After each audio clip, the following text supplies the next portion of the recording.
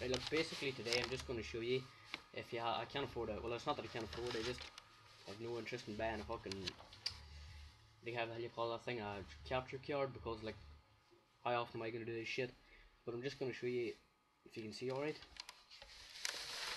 Just going to show you um if you ever get the strict NAT type how to fix it. I had it there in Modern Warfare 2.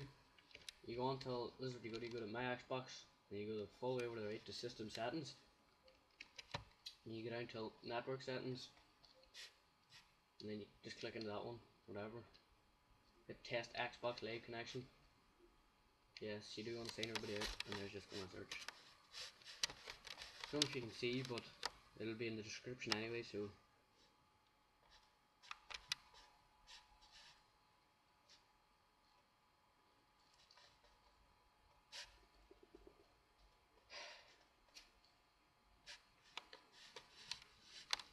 Now this works three quarters of the time, maybe more than three quarters of the time. I don't know. Nine out of ten times works for me well. Ah, it's not working now. So it says connection warning like that there. If a exclamation mark comes up, you have you have to go and reset your hub. Just put the reset button on the side, or else just turn it off the plug and turn it back on. And then once you do that, there it should just work all right. So thanks very much.